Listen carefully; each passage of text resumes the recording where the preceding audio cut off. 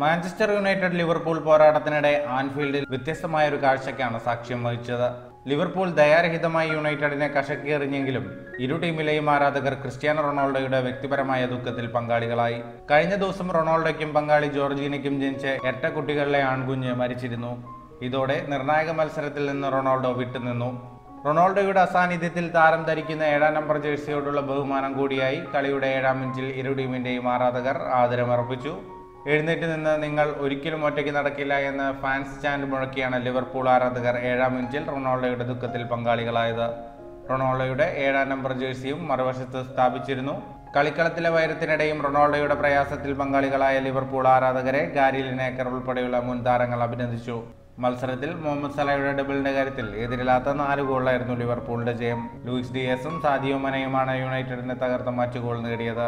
ജയത്തോടെ സിറ്റിയെ മറികടന്ന ലിവർപൂൾ ഒന്നാം സ്ഥാനത്തെത്തി. ഇന്ന് ബ്രൈറ്റനെ തോൽപ്പിച്ചാൽ സിറ്റി ഒന്നാം സ്ഥാനത്ത് തിരിച്ചെത്തും. സിറ്റി സമനിലയോ തോൽവിയോ വഴങ്ങിയാൽ ലിവർപൂൾ ഒന്നാം സ്ഥാനം നിലനിർത്തും. ഫുട്ബോൾ ലോകത്തെ കൂടുതൽ വാർത്തകൾക്കും വിശേഷങ്ങൾക്കുമായി സ്പോർട്സ് കഫേ പോലെ തന്നെ സബ്സ്ക്രൈബ് ചെയ്യുക.